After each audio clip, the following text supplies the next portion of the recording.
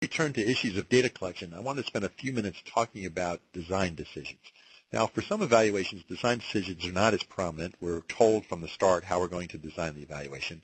But in other cases, we have quite a bit of autonomy, and so it becomes very important to decide what's the appropriate design for the evaluation. Right? While this is related to issues of how do we collect the data and how do we analyze the data, it really precedes it and sort of is a meta level above it. Like everything else we do in our framework, design choices rely on the standards. And as you've already seen in the other discussions of setting an evaluation focus, of all these standards, utility and feasibility are probably the prime ones. Utility is especially key. What's the purpose of the evaluation and who's going to use the results and for what purpose? Okay. And we'd already seen earlier there are many, many different purposes for an evaluation. Sometimes it's for accountability. Sometimes it's prove success or failure of the program. In other cases, it might be just trying to figure out if we could implement the program with fidelity. When the purpose is proof of causation, then design becomes an especially important decision because it raises a lot of very complex issues that are both time consuming and expensive. So you always want to ask yourself, is proof a primary purpose of this evaluation, and with what level of rigor do I need to prove causation or causal attribution? These are the requirements of what's called an experimental model. And of the three types of evaluation designs, experimental models are the ones that come closest to answering this question of causal attribution. Now again, I want to emphasize, not all evaluations are about proving cause, but when they are, the experimental model represents sort of the highest and best standard. We'll see in a few minutes that there's some trade-offs in, in getting being certain about causal attribution. But first let me walk through what the requirements are for an experimental model. So an experimental model assumes that you have two conditions, an experimental condition and a control condition. So there are two groups and they differ because one gets something that the other one doesn't. It doesn't mean that the control group gets nothing. It simply means that they don't get this experimental thing that we're trying to measure the efficacy of. There's a single experimental condition doesn't mean that you're only doing one thing, but that you can name with certainty what that specific difference is between the treatment of the experimental folks and the treatment of the folks in the, in the what are called the control condition. The third one is probably the most prominent and the hardest one to do in the field, and that is random assignment to conditions. In a true experimental model, the chances that any one individual would be assigned to the experimental condition or the control condition should be the same. It should be random. And then finally, pre and post program measurement. We'll see a little bit later that this is the one that's most easily sacrificed and can still retain the power of an experimental design. But in an ideal world, at a minimum, you're taking measures from people in both the experimental and control condition, and you're looking at it before the program begins, and then again after the program begins, on one or two or more occasions after the program has been underway. Now, if these are the highest and best use uh, and requirements of experimental condition, then what is it that we lose and what is it that gets compromised when we step back from these? When we think about types of designs, and particularly in the context of a evaluation where the purpose is proving causation, or what we call causal attribution, then the continuum of evaluation designs is quite straightforward. Experimental design is the strongest, and we'll talk in a second about the four requirements of experimental design. Quasi-experimental design compromises some of those requirements, but is still a strong design.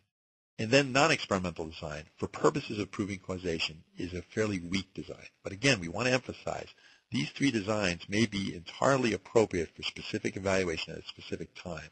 When the purpose of the evaluation is primarily to prove cause, or what we call causal attribution, then this is the order generally in which you want to proceed. If you can pull off experimental design and it's appropriate, great.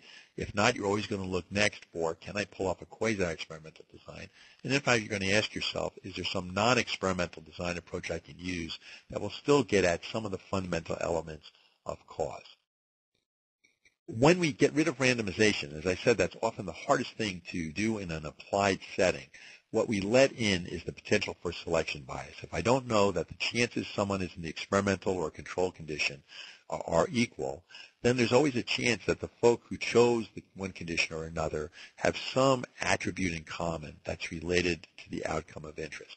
So my, one of my first jobs here at CDC, I taught a stand-up evaluation course across the hallway. By sheer coincidence, there was someone teaching a six-week uh, online evaluation course over the TV. Right? People self-selected into my course or that course. At the end, we, we could determine and decided to look at who learned more evaluation. We may find that my course worked better or the TV course worked better. We would not know with certainty that it was the nature of the teaching. It could have been something self-selected about the people who decided they prefer stand-up training or the people who prefer the TV training. So that's a good example where randomization gets rid of selection bias, all the characteristics of participants that might be causing the outcome of interest. The control group, when we get rid of a control group, what we do is we let in confounders and secular factors. Okay. Now, in, in evaluator parlance, I can have a compare. I can have a group out there that's not randomly assigned, and while it's not a pure control group, we still call it a comparison group, and still it adds a little bit of power. But when I can't have a pure control group or even a comparison group, then what I let in are confounders and secular factors. If in fact there's a difference between my uh, experimental condition and my control condition, I don't know if it's due to the intervention or because of something else going on outside. Way, way long ago, I did a project on intimate partner violence, and we were trying to measure whether a communication campaign in a community changed the perception of people about domestic partner violence and its causes and its solutions. Well, about a week before we did our post-test, uh, the OJ case broke with the media. And of course, everybody in the nation learned so much more about intimate partner violence and domestic violence than they knew even a week before. Had we not had control communities in that case, it would have been very hard for us to say it's our communication campaign that caused the difference in the community's perception of intimate partner violence. Now, this issue of experimental uh, experimental design as the quote-unquote gold standard is probably one of the most controversial and acrimonious discussions that go on in the evaluation community. And for every person who says experimental design is the gold standard, there's someone else who will retort, yes, but sometimes it's fool's gold.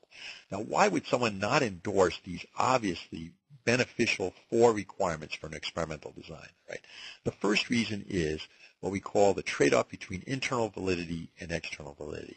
When the issue at hand is I want to prove with certainty that my intervention was causing this result and not something else, then experimental design is really key and it's really it's really the most appropriate approach because it isolates out the causes of my cause from any other cause.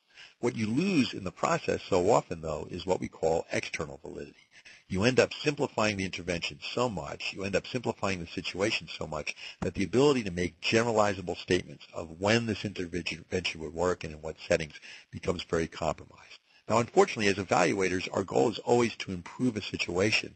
And so if all we've learned is that a very simplified intervention tends to work in the lab, it may be of little utility to us when we're out there in the field trying to find solutions to problems.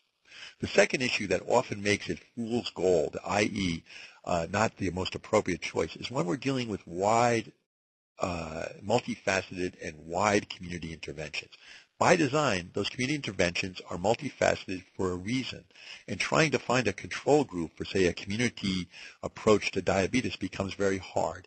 You're talking about issues where there's always something going on in a community, and so to try and find a true control community for a multifaceted diabetes intervention becomes hard. And if we could find such a community, often we'd have to simplify the examination of the intervention so much we would have lost the power of this sort of multifaceted or coalition approach.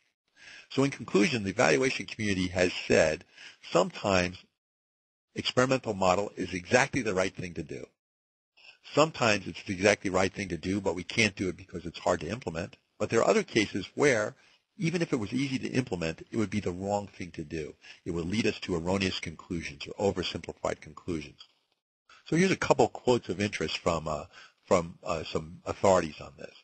So first is the WHO European Working Group on Health Promotion, and they conclude that the use of randomized control trials, that's another name for experimental designs in the field, to evaluate health promotion is in most cases inappropriate, misleading, and unnecessarily expensive.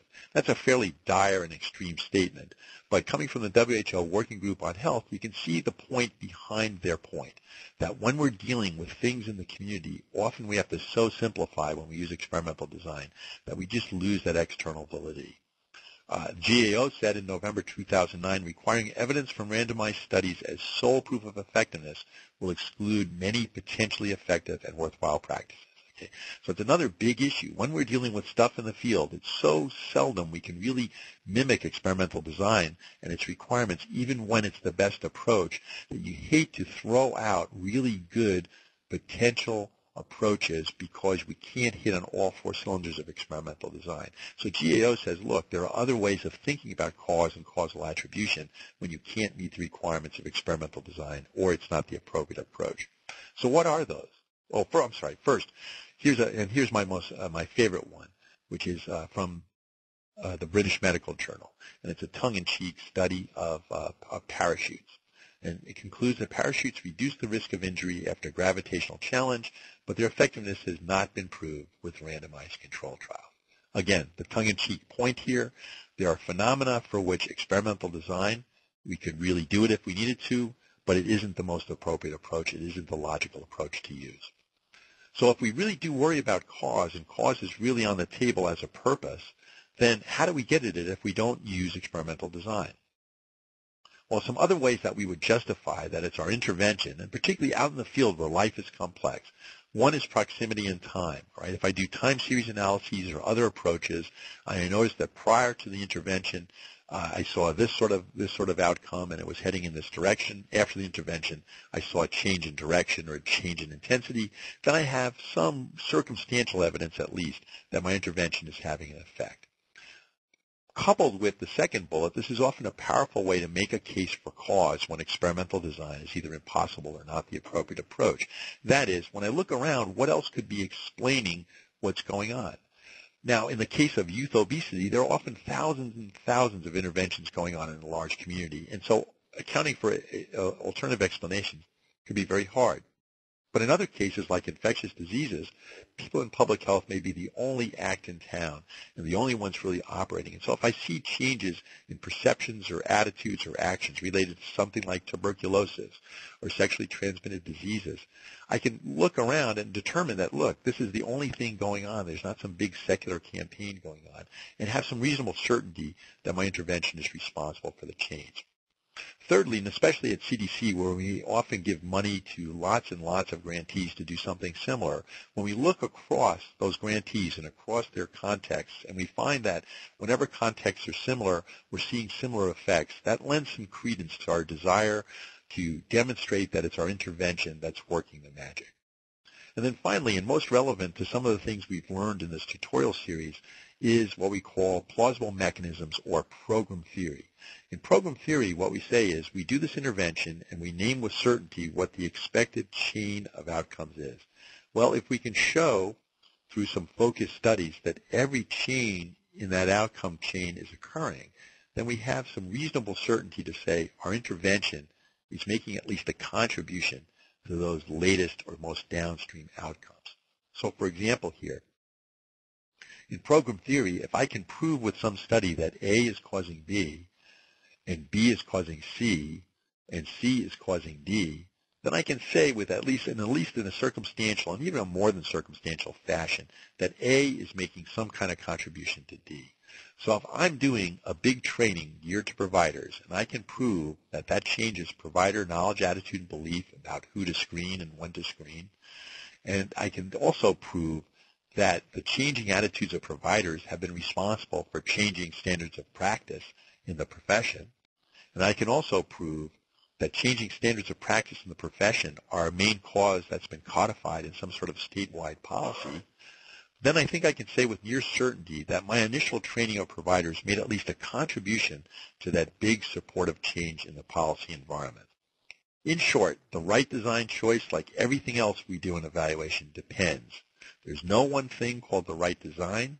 The purpose, the user, and the use are key just as they are in every other decision we make at this focus step. And the other standards are also going to play a role. There are cases where experimental design is completely feasible, but for accuracy and propriety purposes, we wouldn't use it. Just as often, there are cases where experimental design makes a lot of sense from a purpose user use perspective, but from a feasibility point of view, we simply don't have the time, skill, or the resources to pull it off, and we have to look for an alternative way to demonstrate cause. Again, the key point I want to leave you with is cause is not always the purpose for our evaluations, when cause is the purpose for our evaluations, there are many ways of demonstrating causal attribution. In some cases, experimental design is absolutely the best way, and it's the most feasible way. In other cases, experimental design is the absolutely right way to do it, but very infeasible or hard to implement. And there are still other cases where experimental design actually might lead us in the wrong direction.